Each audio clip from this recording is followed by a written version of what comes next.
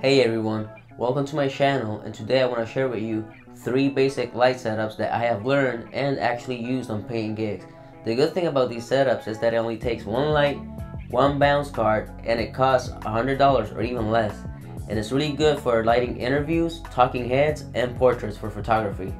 So if you're starting out and you want to get into client work, this is a really cheap way and effective way of doing it. So since I told you that you can actually get this equipment for less than $100, I'm going to show you a quick example of how a little online shopping can help you actually do it. I already picked a couple of items that I would personally go for and it is $78.96 and you have a light with a stand, a carrying bag, two light bulbs, the bounce cards, a stand for the bounce card, and a holder for the bounce card, all for $78.96. Hey everybody, I'm here at the studio with my test subject and our lighting setup. And today I'm going to teach you one of the most basic setups out there for interviews and portraits. All you need is one softbox. And most likely you will never go wrong with this setup. So this 45 degree angle lighting setup is very good for many reasons. It is very easy to achieve. You easily get that Rembrandt lighting in your subject's face. You get the catch light in your subject's eyes very easily and it imitates window lighting very nicely. It's very soft and will always work for portraits and almost always gonna work for interviews.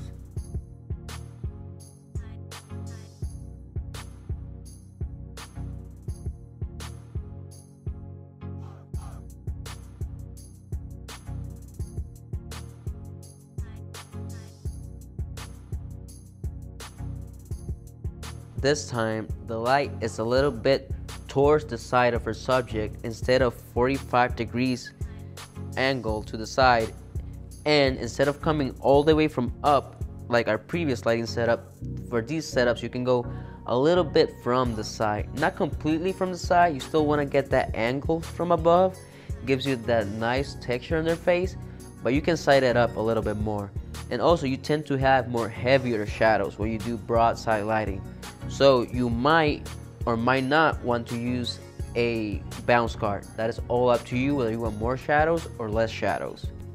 So broadside lighting or short side lighting can be very cool. It exploits the texture in the face, adds a lot of shadows, adds character, makes it look really dramatic. So it's really good to experiment with this type of lighting whenever you just want to add that drama or that ruggedness to your character's face.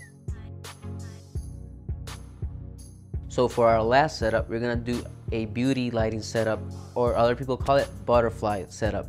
You wanna make sure you're coming from above, from three feet. You can also put it in front with a stand, but you wanna really angle that is almost above and fill in the shadows underneath their eye sockets and their neck with a bounce card. Very important. If not, you'll get like a very spooky feeling, which is cool, but you want that beauty look.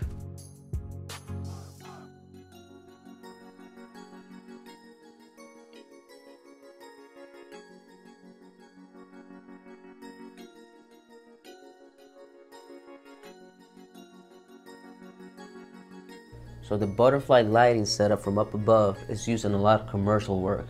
It's really good for beauty and makeup photo shoots. It fills up almost every shadow in your subject's face but still leaves a really nice and soft butterfly shaped shadow underneath your subject's nose. These lighting setups and techniques I have used a lot of times before for interviews like I said and for paying gigs and they're just really good because if a client doesn't have any expectations or they don't give you a lighting scheme then you can already have these set up in your mind and know how to do them. And the client will be impressed and satisfied with the video and how it will look instead of just having normal flat lighting or no lighting at all. And it's good because it costs a hundred dollars or less so you should definitely try it out. Thank you for watching my first video. Please like and subscribe if you enjoy. I know i have a thick accent but each episode I'm gonna try to make it better. Maybe I can teach you a new word like let's see. What's a new word I can teach you? Lighting. Iluminación. Lighting in Spanish is iluminación. So maybe that's something cool.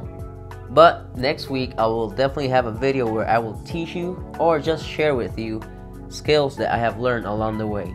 So thank you for watching.